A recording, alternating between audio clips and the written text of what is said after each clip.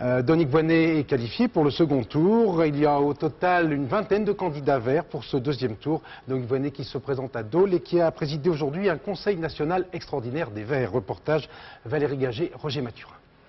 Au niveau local, au niveau régional, Dominique des Voinet a quitté aujourd'hui pour quelques heures sa ville de Dole et sa casquette de candidate. c'est- à Paris que la porte-parole des Verts est venue commenter les résultats nationaux de sa formation. Grâce à l'accord électoral conclu avec le PS, les Verts sont les seuls écologistes à tirer leur épingle du jeu. Près de 4% des suffrages et 20 candidats présents au second tour, dont 9 femmes. Pour la première fois de leur histoire, les Verts devraient faire leur entrée à l'Assemblée et pourquoi pas dans un gouvernement de gauche. Il est évident pour nous que les Verts n'ont pas vocation à s'intéresser seulement à l'environnement. Euh, c'est nous qui avons été les porteurs de la proposition euh, d'une loi sur les 35 heures.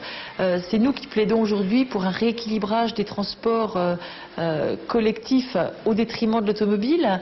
C'est nous qui plaidons pour une agriculture paysanne permettant de maintenir de nombreux paysans. Je crois que des, des- députés écologistes s'intéresseraient à tous les sujets de société. Des ministres écologistes sont en mesure de prendre en charge de nombreux thèmes qui intéressent l'avenir des Français. Dominique Voinet a officiellement appelé à voter au second tour pour les candidats de la gauche en position de l'emporter. Puis, après de multiples interviews, elle a repris la route du Jura pour la dernière ligne droite de sa propre campagne.